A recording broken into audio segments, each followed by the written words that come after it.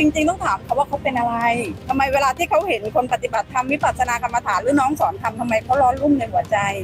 ก็ต้องกลับไปถามเขาว่าเขาเป็นอะไรมากกว่าตอนนี้ถ้าเราเห็นในโลกโซเชียลเราก็จะเห็นมีการอะกระเช้าเย้าแย่กันในเรื่องของอะไรนะลัทธิรังแกเด็กอ่ากลุ่มคนพวกนี้เนี่ยมาใส่ร้ายใส่ความเนี่ยถามว่าน้องก็ทำกิจกรรมอย่างนี้เป็นปกติอยู่แล้ว การเรียนน้องก็ไม่เคยเสียหายนะคะ ในเรื่องกิจกรรมที่น้องทำก็เป็นกิจกรรมที่ทำในยามที่ปิดเทอมหรือในยามที่น้องไม่ได้เรียน มันก็เหมือนเด็กทั่วไปที่ไปทำกิจกรรมเล่นดนตรีร้องเพลง แต่สอนน้องน้องสอนธรรมะแค่นั้นเองขออีกนิดนึงคือคุณแม่เนี่ยโอ้โหพูดมั่นใจมากนะน้องอามอืมแกพูดเลยบอกว่าเขาไม่กลัวนะฮะขึ้นลงขึ้นศาลเนี่ยคือเขาเนี่ยจะสั่งสอนว่าคนไม่ผิดเนี่ย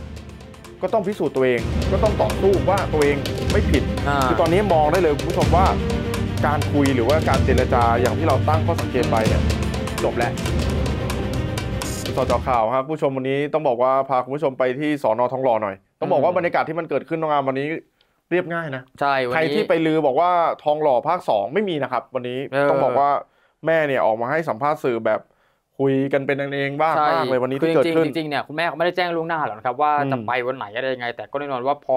มีทนายธรรมราชไปตั้งแต่เช้านะโอ้โหไปที่สนทองหล่อก็เลยใส่เป็นสูข่าวตรเลยนะเออผู้สื่อข่าวทีนิวของเราก็ไปรอนะครับแล้วก็อืมนักข่าวหลายๆช่องเนี่ยก็ไปรอทำข่าวกันนะเพราะว่านานๆทีนะ คุณแม่จะมาปรากฏตัวที่กรุงเทพแล้วก็เดี๋ยวเร็วๆนี้เนี่ยจะมาเชื่อมจิตออนไซต์อีกวันนี้มีหลายประเด็นนะ นักข่าวถามเลยว่าประเด็นเชื่อมจิตออนไซต์เนี่ยโอ้โห ชาวพุทธเขารุมค้านกันอืมคุณแม่ว่ายังไงเนี่ยจะมาเชื่อมจิตในกรุงเทพเนี่ยอืมชาวพุทธหลายคนเขาไม่เห็นด้วยนะ โดยเฉพาะทนายนันชัยเนี่ยโพสต์แม่ถามเลยเขาเป็นอะไรไหมเออเขาเป็นอะไรไหมนะ ส่วนอีกประเด็นเนี่ยตอนนี้ดราม่าเลยนะครับ และทนายตุ๋ยคือทนายฝั่งพี่หนุ่มเนี่ย สอนมารยาททนายธรรมราชซัดเลยเลยอะว่าไม่ใช่ว่าคุณจะมาตอนไหนก็มาได้นะอืมแม่บอกมันเป็นสิทธิตามกฎหมาย จะมาตอนไหนก็มาได้อืมเออทีนี้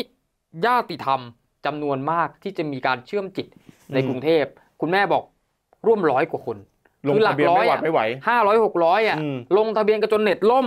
คุณแม่ว่าอย่างนั้นเด้อลงทะเบียนกันจนเน็ตล่มตามกระแสนั้นอ่าไอ้เงินดิจิตอลด้วย ใช่เออทีนี้แล้วเนี่ยมีอีกคำหนึ่งน้องอามครับขออีกนิดนึง คือคุณแม่เนี่ยโอ้โหพูด มั่นใจมากนะน้องอามอืมแกพูดเลยบอกว่าเขาไม่กลัวนะฮะขึ้นลงขึ้นศาลอืมเนี่ย คือเขาเนี่ยจะสั่งสอนว่าคนไม่ผิดเนี่ย ก็ต้องพิสูจน์ตัวเอง ก็ต้องต่อสู้ว่าตัวเองไม่ผิดาคือตอนนี้มองได้เลยคุณผู้ชมว่าการคุยหรือว่าการเจรจาอย่างที่เราตั้งข้อสังเกตไปอืมเนี่ย จบแล้วมคือเขาพร้อมสู้แล้วก็คนที่จะตัดสินเรื่องนี้ได้เนี่ย ก็คือศาลน้องอามเอออ่อะไปเริ่มกันที่ทนายธรรมราชอ่าเลยคือตั้งแต่ตอนเช้านะครับทนายอืมธรรมราชสารปัญญานะครับก็เดินทางมาก่อนนะครับในเวลาต่อมาเนี่ยคุณแม่ของน้องไนท์เชื่อมจิตก็คือคุณแม่นกอืมก็เดินทางมารับทราบข้อกล่าวหา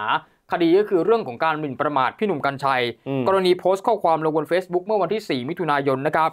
ทนายธรรมราชมีการเปิดเผยว่าก่อนหน้านี้เนี่ยทางแม่น้องไนท์เนี่ยเคยเลื่อนในการเข้ารับทราบข้อกล่าวหามาแล้วนะครับ ส่วนตัวมองว่าโพสต์ดังกล่าวไม่เข้าข่ายการกระทำความผิดกฎหมายในข้อหาหมิ่นประมาทอืมแต่ถือเป็นเรื่องที่ดีครับ เพราะตนเองจะหยิบยกเรื่องนี้มาใช้ในการดำเนินคดีฝ่ายที่กล่าวหาได้ ในความผิดฐานแจ้งความเท็จนี่อืมแจ้งความเท็จกลับนะอืมคือฟ้องกลับคุณหนุ่มกัญโอ้ชัยโหเอาเรื่องจัดเลยนะอ่าขณะที่ตัวของคุณแม่ของเด็กแปดขวบคือแม่นกเนี่ยบอกว่าอืมนักข่าวถามรู้สึกเป็นยังไงแม่เครียดไหมเหนื่อยไหมอืมแม่บอกสบายมากนะอืมแล้วไม่ได้กังวลอะไรเลย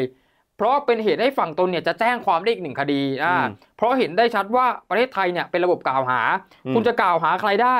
แต่เมื่อกล่าวหาแล้วต้องรับผิดชอบกับสิ่งที่อืมตามมา วันที่ตนเองโพสต์ข้อความเนี่ยบอกเล่าเฉยๆในลักษณะว่าทำอะไรไปบ้างญาติธรรมเขาเป็นห่วงน้องไนท์กันอืมขั้นตอนการดำเนินการเป็นยังไง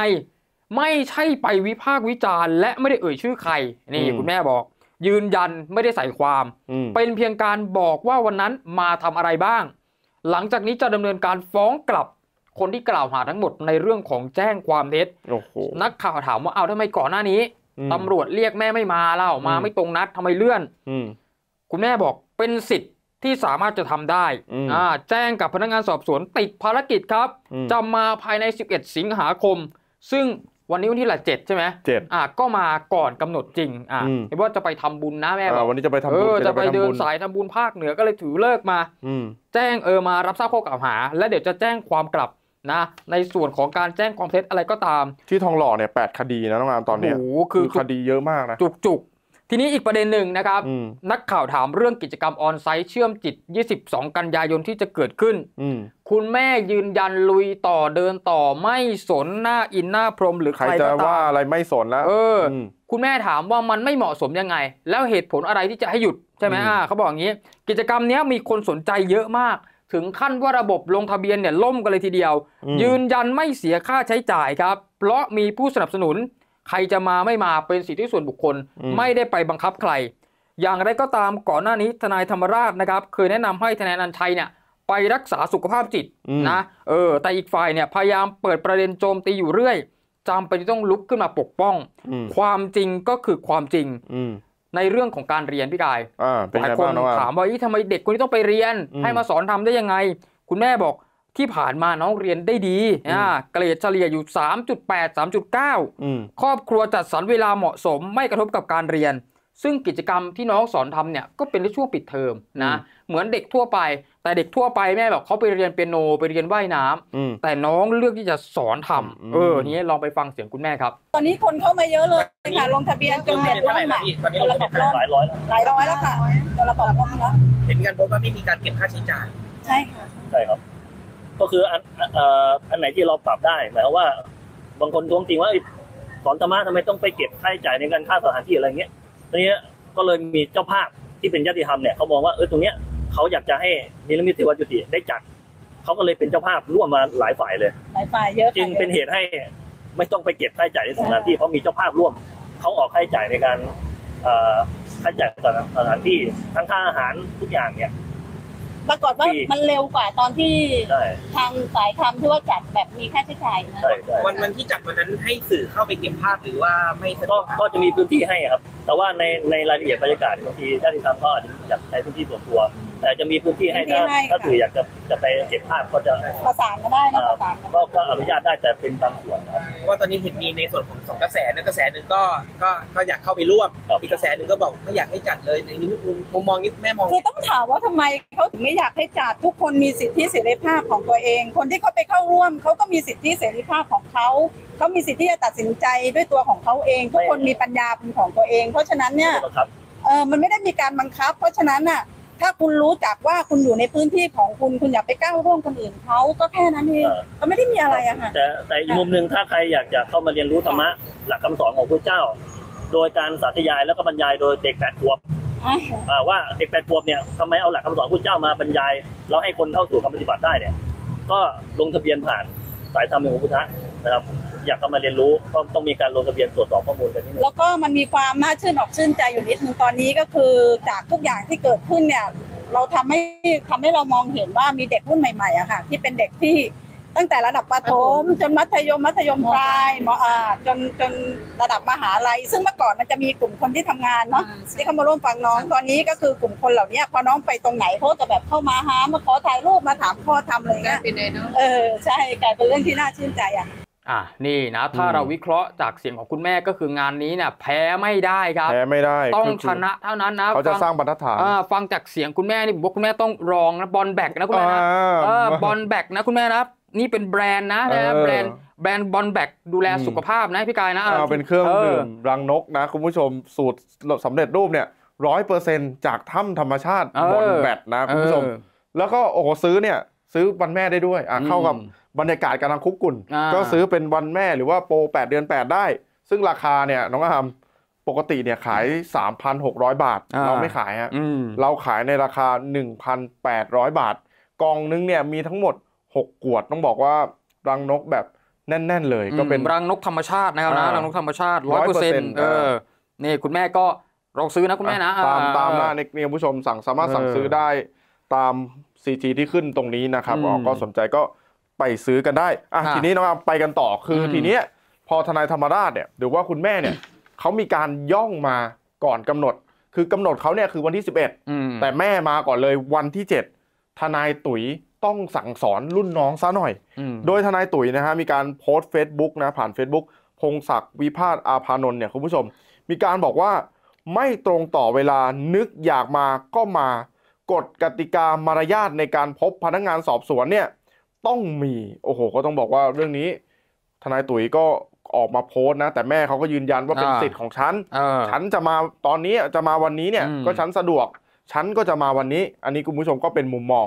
ส่วนเรื่องของคุณต้นอ้อเป็นหนึ่ง ก็มีการโพสต์เหมือนกันนะคุณผู้ชมในเรื่องของเชื่อมจิต มีการบอกนะฮะบอกว่า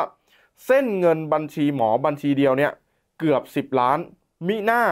ถึงไม่อยากเลิกเชื่อมอ่านี่ก็เป็น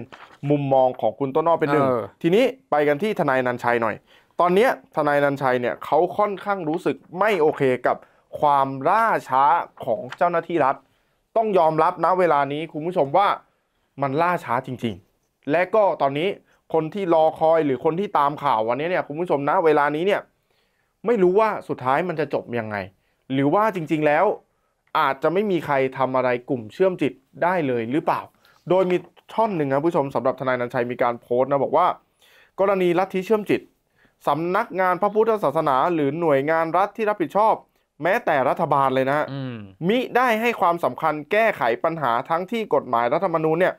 ก็บัญญัติเป็นนโยบายของรัฐในการปกป้องป้องกันเนี่ยคุณผู้ชมบ่อนทำลายพระพุทธศาสนา เถรวาทได้อย่างชัด และพรบสงฆ์ก็บัญญัติให้อำนาจมหาเถรสมาคมเนี่ยโดยความช่วยเหลือของฝ่ายรัฐในการปกป้องหลักพระธรรมวินัยพระพุทธศาสนา แต่ปรากฏว่าหน่วยงานรัฐบาลเนี่ยกลับล่าช้าและไม่กระตือรือร้นในการปกป้องพระไตรปิฎกซึ่งเป็นหัวใจสำคัญและถือว่าเป็นตัวแทนองค์พระศาสดา ของชาวพุทธเถรวาทปล่อยให้ลัทธิเชื่อมจิตเนี่ย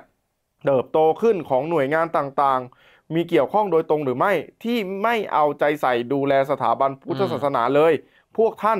ต้องตระหนักถึงความจริงว่าการบิดเบือนพระสัตธรรมเนี่ยนำไปสู่การสูญสิ้นของพุทธศาสนาในอินเดียมาแล้วนะครับอืมแล้วก็โอ้โหทนายชัยเนี่ยก็โพสต์อีกยาว แล้วก็มีการจี้กับสิ่งที่มันเกิดขึ้นว่า หน่วยงานรัฐเนี่ยต้องไปคิดทบทวนนะฮะแล้วก็อย่าเฉยเมยเหมือนไม่มีอะไรเกิดขึ้น เพราะต้องบอกว่า คนไทยหรือชาวพุทธทั้งประเทศเนี่ยเขารอคอยจริงๆ ณ เวลานี้เนี่ยอืมทางแม่เขาก็ประกาศชัดเจนว่า จะเป็นบรรทัดฐานใหม่ เขาจะสร้างบรรทัดฐานใหม่ว่า คนที่ไม่ผิดเนี่ย ก็ต้องได้รับการแบบว่าต้องต้องตอบโต้อะน้องอามอืมคือต้องตอบโต้ว่า ในเมื่อฉันไม่ผิด ฉันก็ต้องปกป้องสิทธิ์ของตัวเอง ฉันก็ฟ้องกลับ แล้วก็พิสูจน์กันในศาลว่าสิ่งที่ฉันทำเนี่ย มันถูกแล้ว อันนี่โอ้โหก็ต้องบอกว่า ดูแล้วน้องอาร์มน่าจะ ยืดเยื้อกันไปอีกสักพักใหญ่ๆกับใช่เรื่องที่มันเกิดขึ้นก็อะคุณผู้ชมก็ติดตามกันต่อสำหรับเรื่องเชื่อมจิต วันนี้ก็มากันที่ทองหล่อ มีการมารับทราบข้อกล่าวหา แล้วก็จะมีการฟ้องกลับกันอีกก็ต้องดูฮะว่าสุดท้ายแล้วเนี่ยมันจะจบยังไงฮะ